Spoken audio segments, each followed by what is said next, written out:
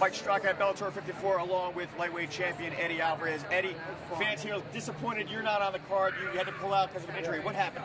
Uh, so we I sustained a couple injuries. Not about to say it on camera, but uh, definitely definitely enough to um, make me you know pull out of this card.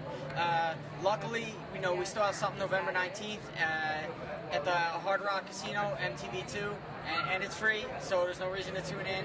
I apologize to everyone who was looking forward to this. Um, it was unfortunate, but um, it, it's it's honestly going to be the best thing for you, myself, my team, and everyone else that um, I'm 100% and that I'm able to defend my title, you know, at, at, at 100%. Right, and I'm sure Michael Chandler is also, he wants to fight the best Eddie Alvarez out there anyhow, right? Yeah, I mean, it, let's say I did come out, you know, tonight, and uh, you know, I had an excuse on my back. My mind wouldn't be right, and I'd be able to say, hey, you know, if he did, if he was able to overcome me tonight, I, you know, there would always be that thing like, hey, if I wasn't injured, what could have happened. So I want I want to be at my my 100% uh, for myself more than Michael Chandler because I could care less about him. But um, I, I, just want to be 100% for myself so I can perform the way I know how. Uh, Chandler does pose some some uh, problems, not maybe not for you, but for other people. Uh, how are you preparing for Michael Chandler?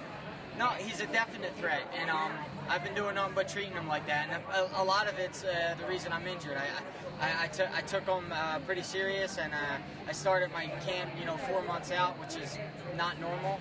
And I wanted to, um, I wanted to be over prepared for this fight. I wanted to put on a performance that was dominant, that I can go out there and say, you know, and make a statement. And uh, that's what I'm still looking to do. And on November, on November 19th, I'm going to do that. Well, let's talk a little bit about well, one of your training partners, Frankie Edgar, had a, an amazing fight last week.